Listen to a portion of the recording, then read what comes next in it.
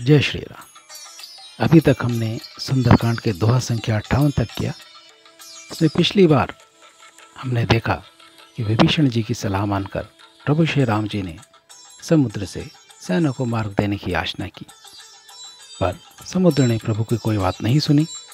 इससे रुष्ट होकर प्रभु श्री राम जी ने अपने धनुष पर अग्निबाण चढ़ाया।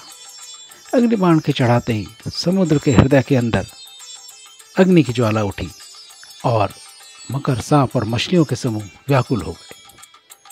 जब समुद्र के रहने वाले जीव व्याकुल हो गए और परेशान हो गए, तब समुद्र घमंड को छोड़कर प्रभु श्री राम जी के सामने उपस्थित हुआ। अब आगे। सब सिंधु गही प्रभु पद के रे, क्षमहुनाथ सब अवगुण मेरे गगन समीर अनल जल धरनी इनकई नाथ सहज जड़ करनी तव प्रेरित माया उपजाए, सृष्टि हेतु सब ग्रंथन गाए। प्रभु आय सुजही कहाँ जस आही, सुते ही भांति रहे सुख लाई। प्रबल कीन मोही सिख दीनी मर जादा पुनि तुमरी कीनी ढोल गंवार शूद्र पशु नारी, सकल ताड़ना के अधिकारी।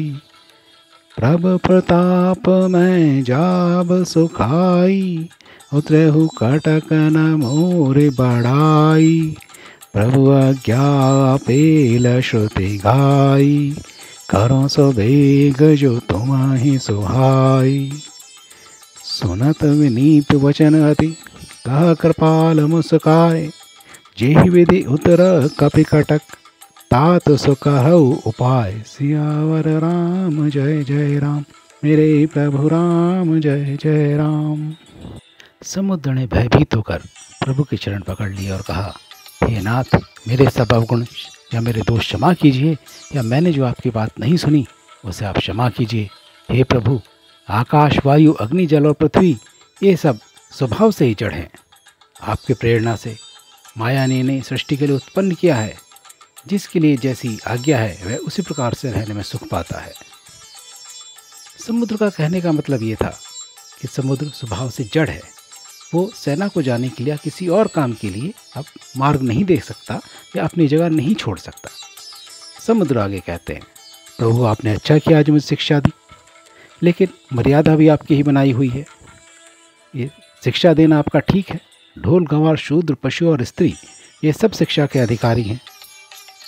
आपके प्रताप से मैं सूख जाऊँगा और सेना पार उतर जाएगी, पर इसमें मेरी कोई बड़ाई नहीं होगी या मेरी मर्यादा नष्ट हो जाएगी। आपकी आज्ञा अपेल है आपकी आज्ञा का उल्लंघन नहीं हो सकता, ऐसा सभी कहते हैं। इसलिए आपको जो भी अच्छा लगे, मैं तुरंत वही करूँ।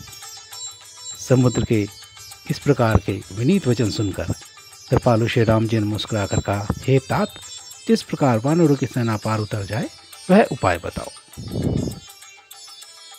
नाथ नीन लल कपिदो भाई लरिकाई ऋषि आशीष पाई, तिनके परस किए गिरी भारे तरिहई जलधि प्रताप तुम्हारे। मैं पुनि उर्धरि प्रभु प्रभुताई करिहूँ बल अनुमान सहाई। हे वेदिनाथ पयोदि बंधाय जय सुजस लोक तिहूँ गाय। ईसर मम उत्तर तटवासी हतहुनाथ नर हतहुनाथ खल नर अघरासी सुन कपाल सागर मन पीरा तुरतई हरे राम रण धीरा देखी राम बल पौरुष भारी हर्ष पायो, निधि भयो, सुखारी। सकल चरित का ही प्रभु ही सुनावा चनन पंध पाथोद सिधावा। निज भवन गौनौ सिन्धौ श्रीरघुपतिः यः मत भायौ चरित कलिमल हर जथामति दास तुलसी गायौ सुख भवन संशय समन दवन विषाद रघुपति गुण गण तजि सकल वास भरोस गावहि सुनहि संतत सठ मना सकल सुमंगलदायक रघुनायक गुणगान, सादर सुनई तरे भव, सिंधु बिना जल जान सियावर राम, जय जय राम। मेरे प्रभु राम, जय जय राम। सुंदरकांड समाप्त। समुद्र कहता है कि, हे नाथ, आपकी सेना में नर और नील दो वानर भाई हैं, जिन्होंने लड़कपन में ऋषि से आशीर्वाद पाया था। उनके स्पर्श कर लेने से ही भारी भारी पहाड़ भी आपके प्रताप से समुद्र पर तैर जाएँगे। मैं भी आपकी प्रभुता को हृदय में धारण करके अपने बल के अनुसार जहाँ तक मुझसे बन पड़ेगा, सहायता करूँगा। हे नाथ, इस प्रकार समुद्र को बांधिए, जिससे तीनों लोकों में आपका सुंदर रेश गाया जाए। और जो बाण आपने धनुष पर संधान किया है, इस बाण से मेरे उत्तर तट पर रहने वाले पाप के राशि दुष्ट मनुष्यों का वध कीजिए। कृपालु और रणधीर, प्रभु श्री राम जी ने समुद्र के मन की पीड़ा सुनकर उसे तुरंत ही हड़ लिया। या वाहन से उन दुष्टों को मार डाला। श्री राम जी का भारी बल और पौरुष देखकर समुद्र हर्षित होकर सुखी हो गया। उसने उन दुष्टों का सारा चैत्र प्रभु को कह सुनाया। फिर प्रभु के चरणों की वंदना करके समुद्र अपने घर चला गया। समुद्र अपने घर गया। श्री रघुनाथ जी को उसकी यह सलाह अच्छी लगी। प्रभु श्री राम जी का यह चरित्र कलयुग के पापों को हरने वाला है। इसे तुलसीदास जी ने अपनी बुद्धि के अनुसार गाया है। श्री रघुनाथ जी के गुण समूह सुख के धाम संदेह का नाश करने वाले और विषाद का दमन करने वाले हैं। और हे मूर्ख मन तो संसार का सब आशा भरोसा त्याग कर निरंतर इन्हें गा और सुन। श्री रघुनाथ जी का गुणगान संपूर्ण सुंदर मंगलों का देने वाला है। जो इसे आदर से सुनेंगे वे बिना किसी जहाज़ या किसी अन्य साधन के ही भवसागर को तर, तर जाएँगे। सुंदरकांड सुना आज जो हमने दो दोहे किए हैं, उनमें से दोहा संख्या उनसठ से पहले कुछ शब्द ऐसे हैं जिनको लेकर कई लोग रामचरितमानस की निंदा करते हैं।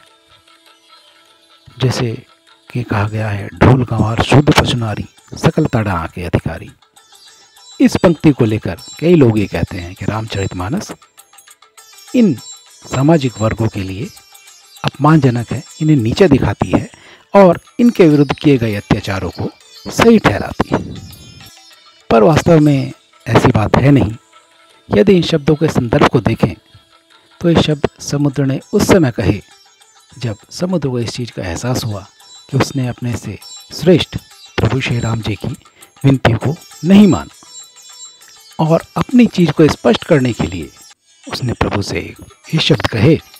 और शब्दों का तात्पर्य ये था कि जो भी आपके अधीनस्थ हैं जो भी आपके सबॉर्डिनेट्स हैं, वो सब अनुशासित किए जा सकते हैं और अनुशासित करने के लिए अगर आपको थोड़ी बहुत सख्ती करने की आवश्यकता हो तो वो भी की जा सकती है।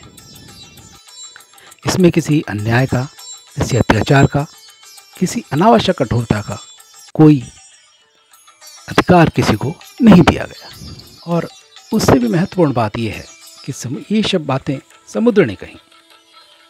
इसमें ये जानना ज़रूरी है इस पर ध्यान देने की ज़रूरत है कि प्रभु श्री राम जी ने बातें सुनकर समुद्र से क्या कहा। प्रभु श्री राम जी ने समुद्र को कोई ताड़ना नहीं की, समुद्र के साथ कोई बुरा व्यवहार नहीं किया, उन्होंने उन्हें आदर से तात कहकर संबोधित किया, जो हमेशा अपने से बड़ों के लिए शब्द प्रयोग किया जाता है।